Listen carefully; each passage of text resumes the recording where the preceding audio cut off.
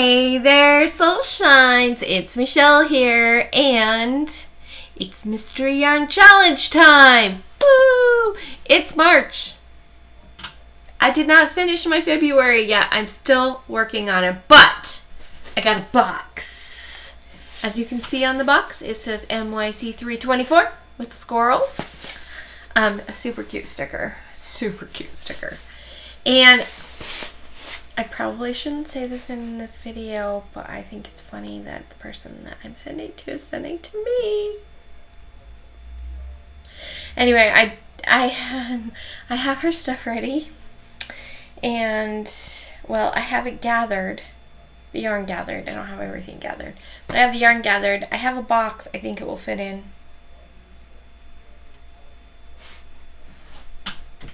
That's how far I've gotten. Okay, I'm getting my on my list of things to accomplish today is getting that box put together all the way, taped closed. Um, I have a printer now at home, so I can actually pay for it with Pirate Ship and print my label and tape it on. And honestly, if I was really up for it, I could run down to the post office tonight and put it in the um, box thing. Because as long as it fits in there, I can just drop it in there. I've only had one box that didn't fit in there that I've ever shipped out since I've been working with the post office since I lived here 14 years. And that was one to my son for Christmas. And it was so close. It was like half an inch, inch too big to fit in the thing. But um, this box should be that I have if everything fits in it and I can figure out how to get that all put together. So I just, it's like, do it. Do it before I do any more in my room. That is the rule for myself. So let's open this box. I have not done any preparation. As you can see, it's in a priority box.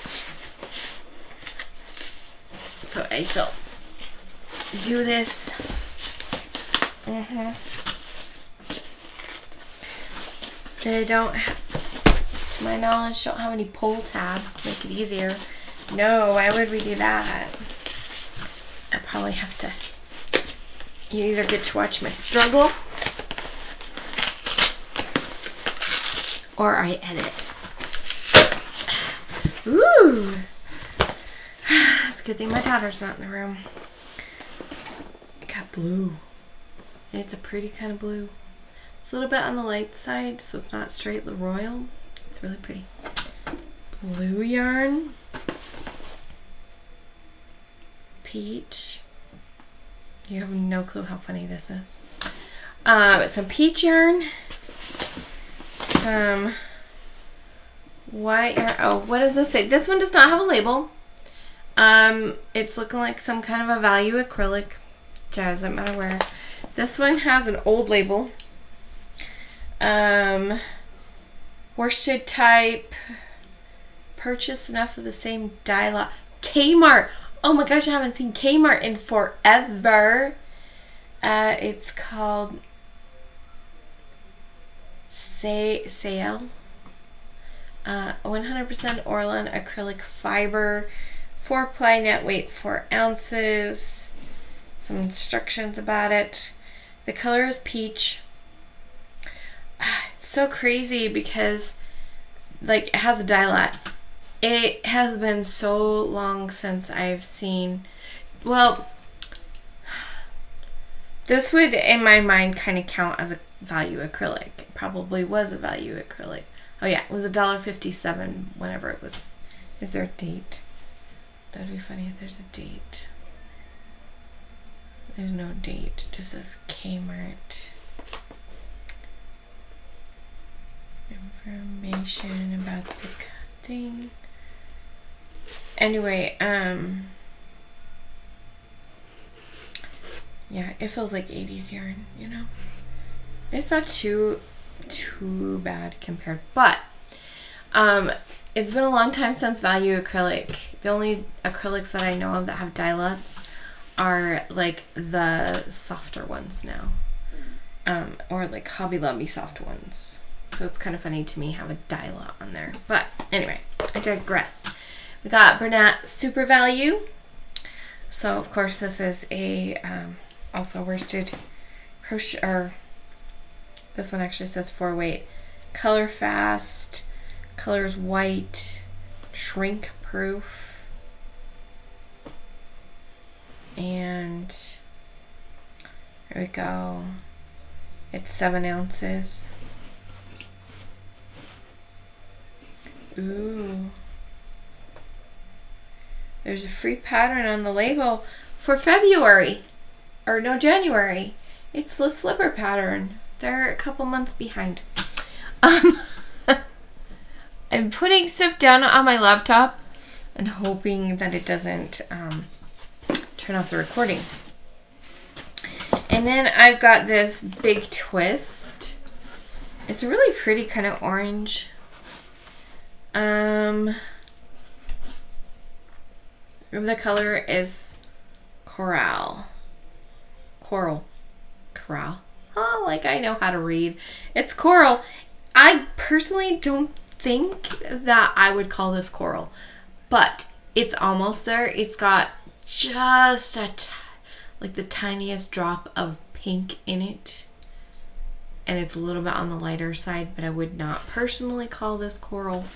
But that's the name of the yarn from Big Twist there, 100% acrylic. So, so far I've got a blue that's trying to run away, coral, and peach, and white, and a mint green. This is a Big Twist value, but it's got a different label on it. And this color is called light teal. I also would not call this teal. Uh, it's mint green. It doesn't have enough blue in it to me even to begin to say it's got blue in it. So I would not call it teal at all. Teal has blue in it, in my opinion. Anyway, so I've got teal and blue and peach and orange and white to get to, these are the colors I get to play with and figure out what I'm going to make for the Mystery Yarn Challenge. That's exciting. Should we smile? Yeah. Um, I actually don't have, Lori doesn't, let me actually focus for a second. Lori doesn't have to take a screenshot because I go through my video and I was like, mm, I like that one. And I grab a still from it and then send her that. So she'll get that. And that is what I have. Um, sometimes people send little goodies and stuff in boxes and sometimes people don't. There's no requirement to. Um, the only requirement is that you send yarn. And she says like three to four. You can do different weights if you want to, things like that. Um, try to put colors together you would want to put together. And any goodies are just a bonus. So, um, like I have no ideas in the in my brain right now for what to make with that.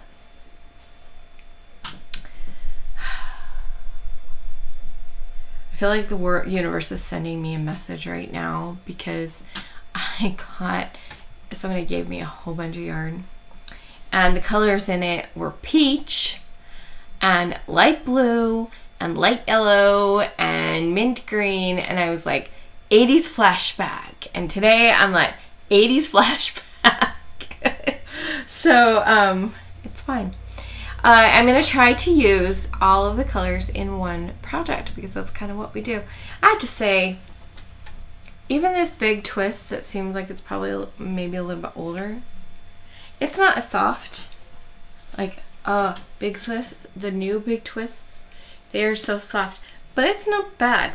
It's not bad. I like Big Twist. I didn't know that I would. I know that some people are always raving about it, but I don't usually shop at Joann's because my store has like no yarn. I mean, they have yarn, but hardly any yarn. It's really feels so inconvenient to walk to the back corner of the store to find out they don't have yarn. Um, and it's like that. My Michaels is like that. Hardly any yarn. And my Hobby Lobby is getting less and less yarn. And I want to kind of go around knocking people on the head and say, hey Utah folks, let's buy some yarn. Let's be yarny so that we actually get some yarn supply in our store. Because I know that Hobby Lobby had more yarn. And I don't think it's the company that goes down because you know you talk to different people, different areas, they have more yarn. People order according to what the statistics and the stuff at the store are. So um, the fact that we're having less and less yarn here is an indication that there are not as many yarnies.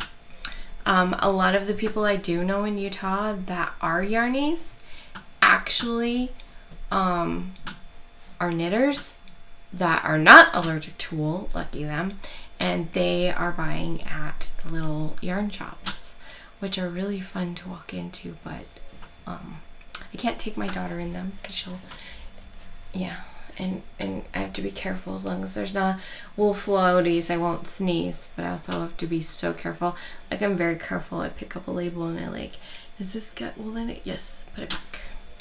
Um, but if I touch it a little bit, I'm not too bad. If my daughter touches it at all, she's in pain for hours. So, pain is the best explanation for what it is. It's a multiple symptom kind of reaction. Anyway, I digress. I digress. My brain is trying to whirl at the same time I'm recording to be like, what can I make this month? What am I going to make this month? Um, yeah. Ooh. They are almost kind of Eastery. Maybe I'll make an Easter something. That would be fun. All right, here we go. Remember to let your light shine through your creations, and I will see you guys next time. And hey, if you haven't already participated during the Mystery Yarn Challenge yourself, please check out Lori. She will be tagged in this video, of course, and you can go check her out. You can join in on the Mystery Yarn Challenge. Um, not in all reality Lori's so kind that if you said, hey, I want to do the whip one, and even though I'm joining late, she'd probably let you. But um, if you want to join to, to send yarn back and forth, make sure you're watching so that at the end of this month, when she does the next months, that you can join us and be playing with us. It's so much fun. And if you are playing, but make sure you say something.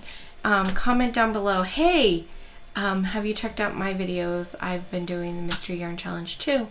Um, I know who some of the active participants are, and I watch some videos, but like YouTube algorithms don't always bring stuff up, and I would love to go see what you're what doing. I sometimes I try to remember to go watch what Lori's doing, and I always watch her. Um, what's that called? Slideshow. I always watch the slideshow at the you know when she does those but she doesn't do, do those until she is ready whether she's busy or people are still sending her stuff. So um i would like to see what you're making now. So if you have um a channel and you have videos say hey michele have you seen my videos? And i'll go check them out.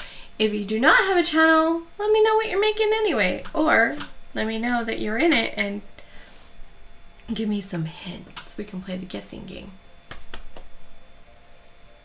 Anyway, remember to let your light shine through your creations. I'll see you next time. Bye.